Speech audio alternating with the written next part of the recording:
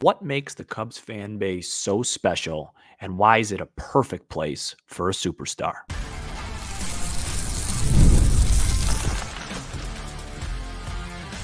You are Locked On Cubs, your daily Chicago Cubs podcast, part of the Locked On Podcast Network, your team every day. You are Locked On Cubs, part of the Locked On Podcast Network, your team every day. I'm Sam Olber, and I'm a lifelong fan, taking my passion into a discussion with you on all things Cubs. Thank you for being part of the show and making Locked On Cubs your first listen today. And the best way you can help us grow the show is to listen every day, like the video, and comment anything below. This episode is brought to you by Prize Picks. Download the app today and use code LOCKEDONMLB to win $50 instantly when you play your first $5 lineup. Prize Picks, run your game. Welcome in, everybody. It's a solo Sam day, a, a Sam soapbox day, if you will, but we're going to change it up. It's going to be a positive soapbox. Is that an oxymoron? I don't know. Um, but I, uh, I'm not going to rant today. In fact, I'm going to celebrate today. Uh, I think everyone deserves a little bit of a change of a tone. This is kind of similar to the Crown Jewel episode we did, I don't remember, a week or two ago um, that Matt and I did, but it's different because uh, uh fans were just a part of the crown jewel conversation. This is just strictly talking about fan bases and why I think the Cubs are such a special fan base. And and and, and you know, you guys know me pretty well by now, especially those who listen every day. And I think you guys can tell, you know, when I do FanDuel ads or whatever, you know, I, the Cubs are my number one, always have been, always will be. But I also love sports, like every sport, uh, um, and and I follow a lot of them intensely. You know, whether it's the Bears, whether it's Illinois basketball, football, whether it's Messi in soccer, or whether it's just the NBA in general. I mean, I love like I, am counting down the days to watch the NBA. Uh, I, I would go as far as to say it's probably too much in my life, and I, I'm working on that for sure. But what it allows me to do is really put into perspective when I cover a team like the Cubs and then look at other teams. And of course, I'm looking from afar. And when it comes to fan bases, everybody's going to think theirs is the best. There's implied bias there, and this is no different than that. But I watch a lot of teams, I watch a lot of atmospheres. I'm all over social media. Like, you know, I, I think I'm a decent person to have this discussion with. And for a long time now, since I've been old enough to really know about these things, it's always stuck out to me the Cubs fan base and, and, what it means to people. And you know, they had that slogan a couple years ago, whenever it was that you know, quote, "It's different here," you know, end quote. And, and it really is like that. That that isn't just jargon. You know, that's that's real. Um, and when I talk to Cub fans at events and um, you know, I talk to people and I interact on social media. One of the reasons why I don't really get too angry when people get get after me at social media or whatever is because I, I respect that they love the Cubs probably just as much as I do. So we might disagree on the path, but but we all want the same ending, which is the Cubs to win another championship. And so I just want to get into that and, and talk about. I think there's some interesting conversations there. Um, you know, when, when when you're talking about a, a great fan base, you know, I, I, think about you know loyalty. I think about tradition. I think about venue. I think uh, what it means to people when they win all those things can they create a great atmosphere? Is it, is it legitimately difficult to go into their building and win? Is it you know baseball is obviously not like football and basketball when it comes to that of course. Um, but like a good example is like the dodgers. The dodgers are looked at as a you know a, a one of the top crown jewel franchises and you know they, they played a tuesday afternoon nlcs game or monday. It was a monday afternoon uh, nlcs game. And even justin steele tweeted about it that, that there was empty seats there uh, there was empty seats there. It was a very mediocre atmosphere from from afar, and it, it just it, it, made me think about Wrigley. And, and and if the Cubs were playing the Dodgers or the Cubs were playing the Mets in an NLCS game two in the middle of the day, middle of the week, everything stops. Everyone knows. Who cares what your daily ob- obligations are? You got to get to Wrigley Field. You got to get to Wrigley Field if it's a 3 a.m. start. Who cares about 3 p.m.? How about 3 a.m. That it would be there, and it would be ruckus. It would be it would be a an incredible atmosphere that you probably remember forever. You know, I still remember the the two games I was at in the 2003 playoffs, and I will and I was you know nine years old, and I will remember those for the rest of my life because you can't re- recreate that stuff, and that's Wrigley, and that's the Cubs, and that's this fan base. You know, but the interesting question that comes up, and, and we get this a lot, and I've even discussed this a lot, is is there a a line where you become too loyal? Where you start to enable ownership with your loyalty, meaning, hey, we don't have to go out and put out a great product because we know if we're just average, people are going to sell out the the stadium. And my short answer to that is is is no. I don't believe in that. I, have gotten arguments about this where I've been on the other side. Like my my buddy Nick has diehard uh, as, as a diehard Bears fan and has um uh, season tickets to the Bears. And I used to get on them when they were bad. Like, why are you going to the game? You're enabling, you're perpetuating the problem, whatever. And I've realized that's just that's a soft take because it's like people you can't tell people what's fun and what isn't fun. Like Nick, same friend, went to like one of the last Cubs games of the year because him and his wife and friends and family wanted to go to the game because going to Wrigley is fun. And and that's fun for them. Watching the Cubs is fun. Just because I'm somebody that's like, hey, if they're not good, I don't want to go. That doesn't mean everyone's going to be like that. And a huge part of that is Wrigley. It's such a cathedral. It's such a venue where you're, you're it doesn't matter if if you say you're not going to go to a game how are you going to tell the out of town people you know cubs are hosting the tigers you're going to you're going to have thousands of tiger fans like that place is always going to do well no matter what because of wrigley i do think cubs the, the Cubs do a really good job, Cub fans, of holding players accountable. Um, I think marquee subscriptions have been down. I don't know that factually whatsoever, but you know, it just feels with the spending and the murmurs out there that you know, I don't think Marquee's done as well as, as maybe the Ricketts family thought it would. I could be totally wrong on that, but I I, don't think so. Um, I think fans express their displeasure in, in, in different ways, and you know, when, when, things aren't going well at Wrigley, you'll hear boo birds. Like I don't think they're loyal to a fault, is, is what I'm saying. I think the Cub fans are the perfect amount of of loyal when they need to be, harsh when they when they have to be, but but it, it's one of the reasons why I think Wrigley Field and the Cubs are a perfect place for a star. I just want to read uh, some attendance figures just to go back on the back last point. So top six in attendance this year. Dodgers won. Um, you know, also a little deceiving. They have, you know, the Dodgers and a lot of these other teams hold more people than Wrigley. Um, so they're going to have more people. But Dodgers, Yankees, Phillies, Padres, Braves, Cubs. So the Cubs were sixth. But of course, the Cubs were the only team in the top six that uh, were not a playoff team.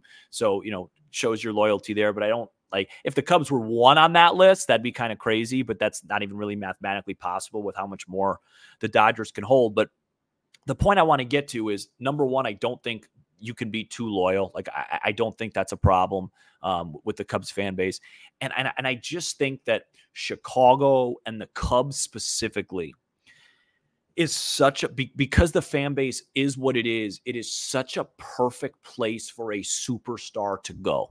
And if I were an agent of Shohei Ohtani's or Juan Soto's or whoever is available, I, would be advising them to go to the Cubs. And I'm going to tell you why. Now, I understand, of course, money's the biggest thing and the weather and if the wind's blowing in. I think that was a fluke. So let's let's let's take that away for the for the sake of this episode. Let's let's use Juan Soto as an example. Okay. Juan Soto most likely is going to resign with the Yankees if he resigns, to me, sports is about legacy. That that's all that's all it's about for me. Like it's about winning and it's about legacy for, for an individual player. Like if you're a star. You go to the Yankees, you go back to New York for play with the Yankees. No matter what you do, you're always going to be looking up at somebody, right? Might might be your own teammate Aaron Judge. But if if it, if it's not Judge, it was Jeter. If it's not Jeter, it's it's 56 when when Mantle uh, uh, won the Triple Crown. And if it's not that, it's DiMaggio's 50 game hit streak. I think that was 41. And if it's not that, it's Lou Gehrig's 100 billion RBIs. And if it's not that, it's Babe Ruth. Like they they've seen it all, they've done it all, right? But then you say, okay, well, then he could just go to the Mets then. But then the Mets don't have the cachet that the Cubs do. They're still the little brother in their city, right?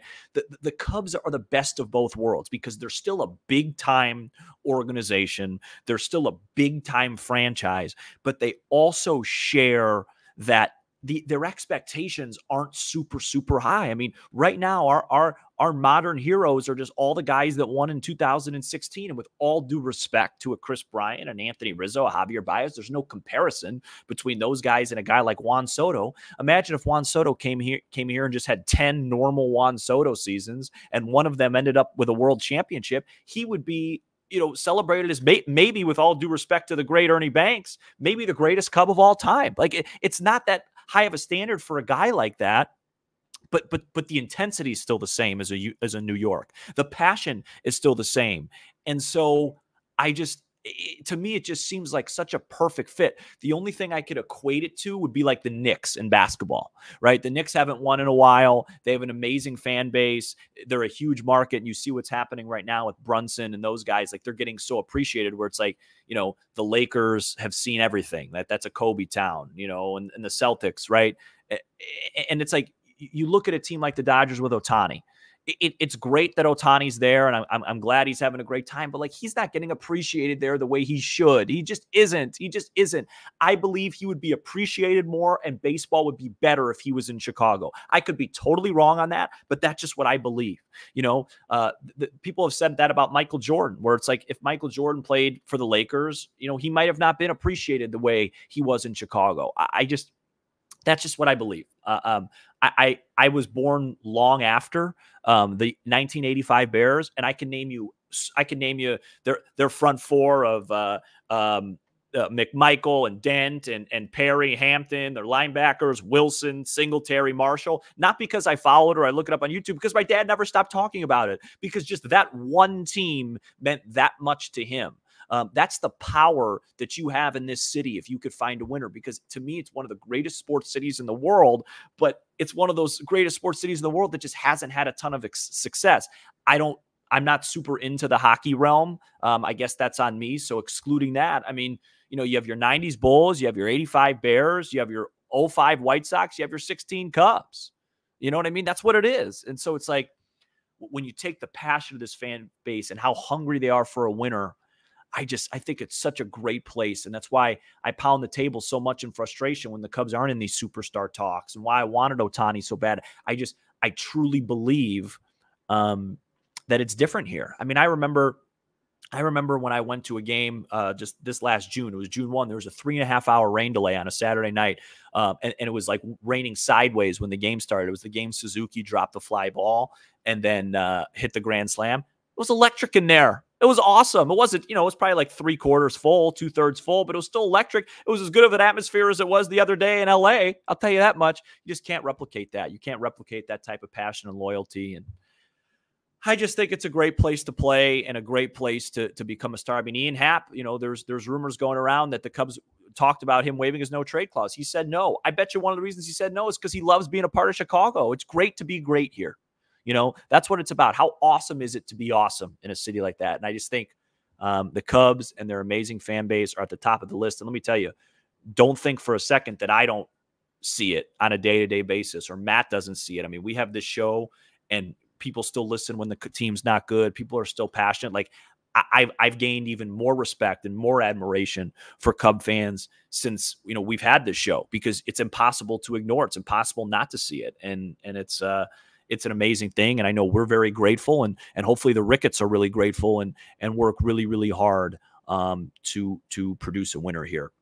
I think this is a fun conversation. We're, we're going to continue it. Let's talk about some, some other teams or other franchises that you could compare the Cubs to in terms of fan bases uh, coming up next. This episode is brought to you by Prize Picks. Prize Picks is America's number one daily fantasy sports app with over 5 million active members.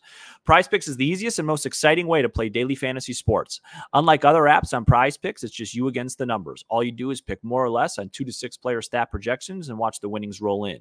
Get in on the daily action with your friends. Become part of the Prize Picks community today. You can now win up to 100 times your money on Prize Picks with as little as four correct picks. You can turn 10 bucks into a thousand. Sign up today and get $50 instantly when you play $5. You don't even need to win win to receive the $50 bonus. It's guaranteed.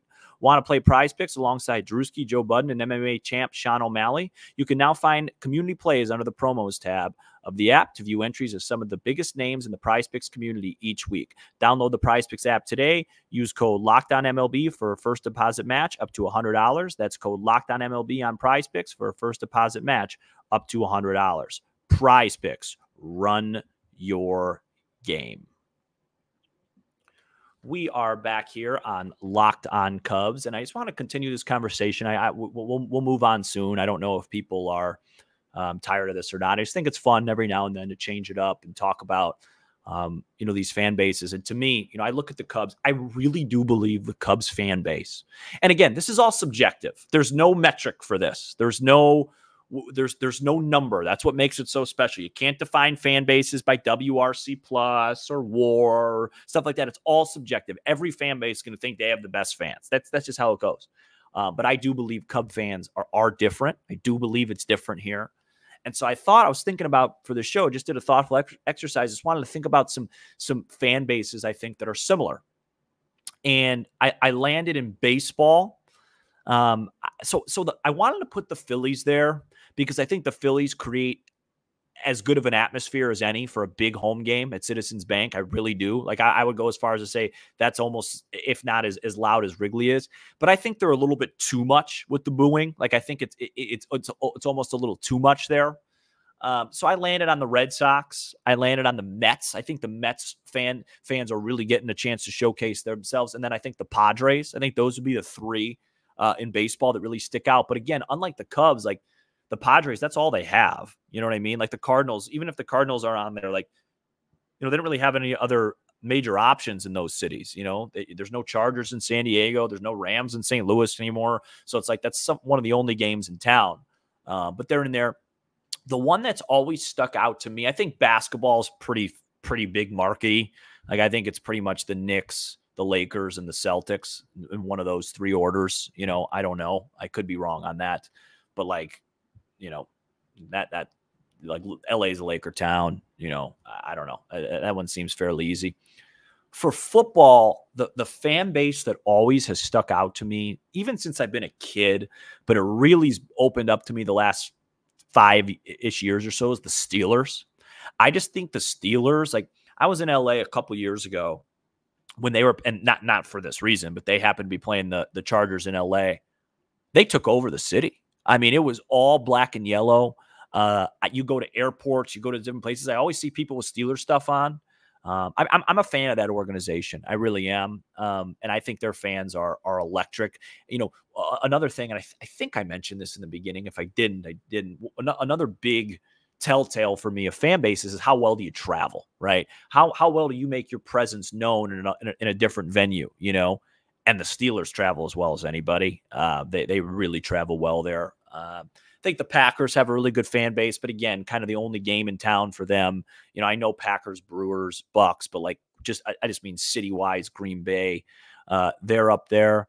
Um, you know, I'm trying to think off the top of my head. Like I, I personally, like I wasn't overly impressed with the Yankees turnout. I think the Yankees are in a situation where like their fans just expect greatness, and so that that that sometimes becomes challenging. It becomes difficult. You know, um, you know their atmosphere, uh, you know, against Cleveland. It was like it was just like well, we expect to win this. You know, so it is what it is. Um, but yeah, I just I, I really feel like the point of this episode is just like I, I, think the Cubs have amazing fans, and we deserve a consistent winner like we had from from 15 to 18, and and and just as important, maybe not just as important, but just under that, we deserve a guy to just rally around that's a star, and, and we make him, and he makes us. You know what I mean? I mean, you know, those early years with Sosa, like one of the reasons why you know, that Sosa event. We talk about Sosa is because I, I, still remember those days. It was that important to people, you know, when he would come to the plate. It was whether you like Sosa or not, or you agree with the things he did or not. One thing you won't disagree with is that at that time, it was electric. It was electric. It went from Walter Payton to Michael Jordan to Sosa in, in the late 90s. It was just, it was different. It was different and and and the you know the Cubs as a whole in 15 and 16 they had that, and then it kind of faded towards uh, 2018 and whatnot. But um, I just think it's really interesting, and it's just like I said, it's just it's a really really fun community to be a part of, and I'm trying to think.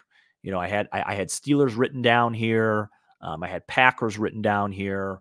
Um, I had Red Sox, I had Phillies, I had Padres. Those were really, really the ones. And then, of course, I, correct me if I'm wrong in the comments. I could be wrong. Like I feel like like OKC, like the Thunder, like those teams have a pretty good fan base. But again, that's just because like that's that's their thing. It's like, it's like almost like a different category. You know what I mean? There's no Oklahoma City baseball team or you know, and those type of things. So I'm not trying to not trying to insult any fan bases by any means. Of just giving my food uh, for thought. Let's talk about a little baseball, little gold glove situations uh, when we come back. This episode is brought to you by Hims. Guys, sometimes intimate moments happen spontaneously, and we always want to be ready so we can perform in the bedroom.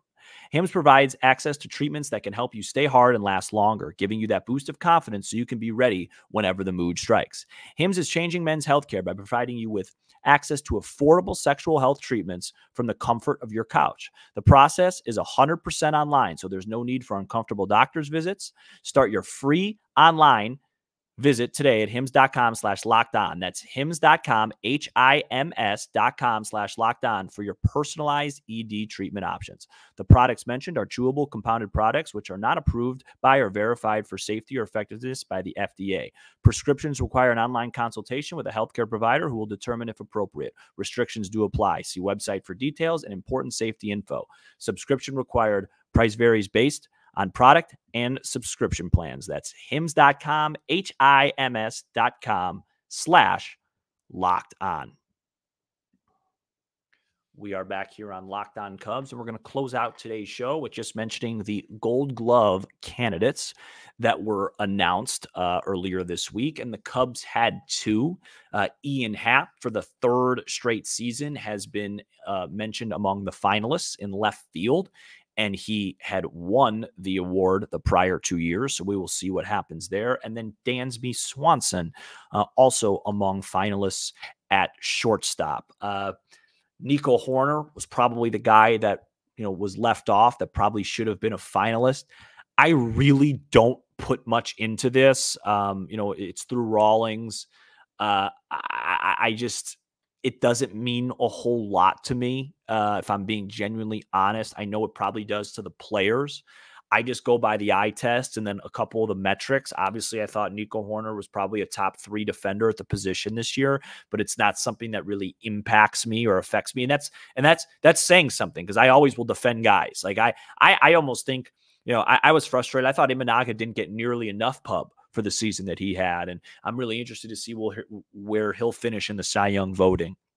But the Hoerner thing, it just does, it just didn't pop off my page as, oh my gosh, I'm, I can not believe it. Like it is what it is. Uh, but he, he probably should have been there. I would not be surprised if Dansby and Happ repeated. Uh, Dansby was tremendous. I I think Hoerner and Swanson, if I remember correctly, got off to slow starts defensively, and then like the last four or five months was flawless, especially on Swanson's end. And and as I said on the show before, I I thought Ian Happ had his best year um, anecdotally through the eye test in left field. I, I thought he had a better year this year than he did the prior two years. So I would have no problem with him um, winning the Gold Glove award. First of all, I wouldn't have a problem with it anyway. He's a Cub. I want it. I want what's best, but I, I would be uh, I would not be surprised at all.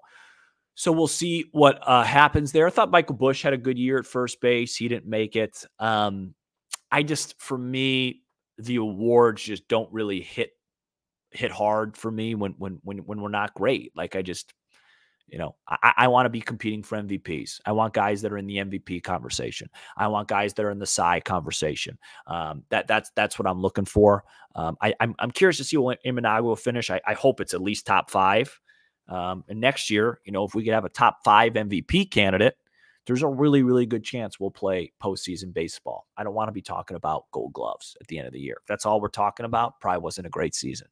You know, let's talk about MVPs. Let's talk about silver sluggers. Let's talk about Cy Youngs. Let's talk about saves leaders. You know, that's that's where you want to be because those results um, in wins. So we'll see. I would I would not be surprised if both guys repeated um, as Gold Glove Award winners. Uh, we will monitor that. Matt will be back for Thursday. I don't know. We, we might talk. Uh, we might talk a little Q rating. Talk about guys like who has like great approval rating with the Cubs, where they could do no wrong in Cubs fans' eyes. Who are guys that are on a shorter leash? I think that's a an interesting conversation to get into.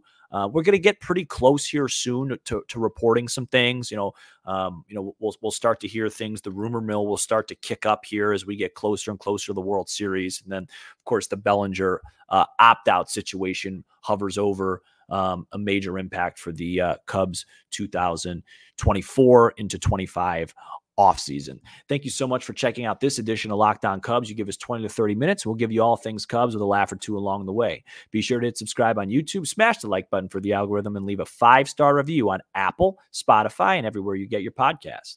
I'm Sam Olber, and this is Locked On Cubs.